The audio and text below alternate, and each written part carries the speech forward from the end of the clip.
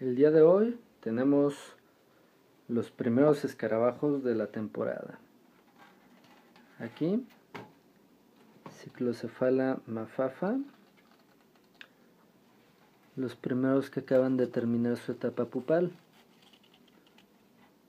Aquí los vemos, la exuvia y el escarabajo.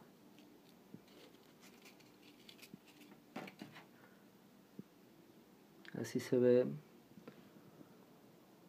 La exuvia es esta esta de aquí. Y este es el escarabajo.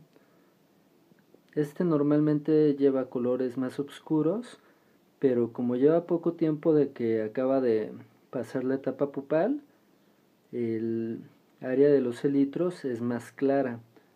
Después de algunas horas estas manchitas de aquí tomarán un color más negro y toda la parte de los elitros un tono más café.